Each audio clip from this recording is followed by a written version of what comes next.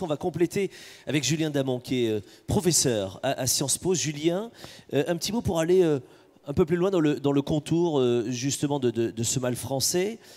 Comment est-ce qu'on passe aussi peut-être de, la solitude vue comme un espace de ressourcement pour, certains, et, d'autres la solitude subie qui, lui, est peut-être un phénomène d'exclusion et de précarité sociale?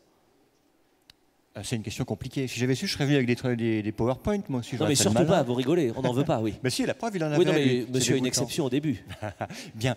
Euh, je pense qu'il faut distinguer trois choses dans notre débat. Ça prendra que deux minutes pour les distinguer. C'est la solitude, le sentiment de solitude et l'isolement. Oui. Euh, la solitude, euh, dans une certaine mesure, c'est vous, lorsque ces millions célibataires, vous nous dites que vous êtes seul. Ça a beaucoup progressé. Dans les années 60, vous aviez 20% des gens qui vivaient seuls.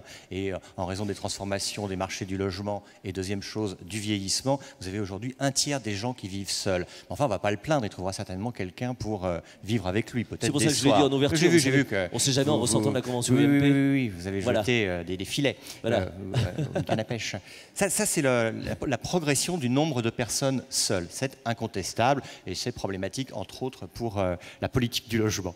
Il y a un deuxième sujet qui est le sentiment de, de solitude qui n'a pas en réalité beaucoup progressé depuis qu'il est mesuré, euh, c'est-à-dire depuis euh, une dizaine d'années. À la louche, et pour aller vite, vous avez une dizaine de pourcents euh, de la population qui, en France, comme le précisait Jean-François Copé, déclare ne pas voir régulièrement des amis ou des membres de sa famille, et vous avez plein de types de questions qui permettent d'approcher ce phénomène. Le problème, si ça n'a pas beaucoup progressé, c'est que ça nous place dans les derniers rangs européens en la matière. Ah c'est là où, le, à mon avis, le bas blesse, au sens où euh, nous sommes les bons avant-avant-derniers dans les classements européens sur euh, ce sentiment de, de solitude. il y a un troisième sujet qui est un sujet sur lequel il y a de la politique publique, euh, dont on pourra discuter par la suite d'ailleurs dans les propositions, qui est celui de l'isolement qu'on a évoqué. C'est euh, les parents isolés, mères isolées dans 90% euh, des cas.